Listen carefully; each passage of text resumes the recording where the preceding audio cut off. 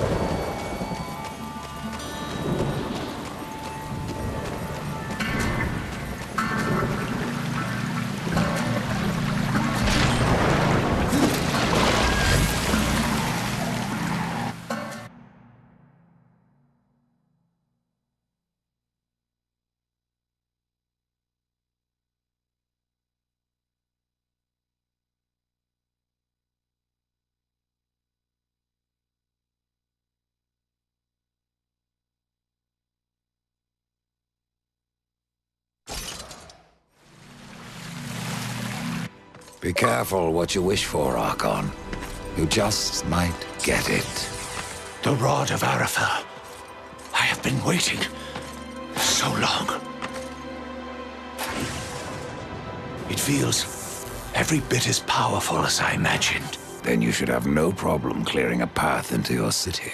A path? No. I will clear the entire realm. I will burn away the shadows with holy light!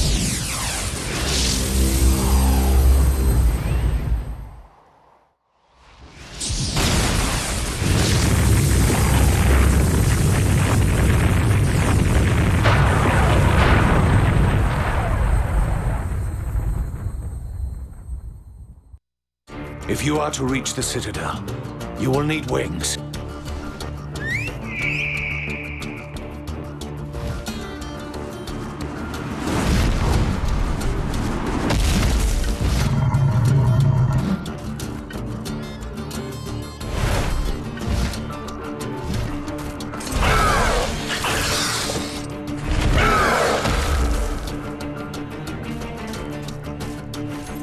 Seek out the scribe, most ancient.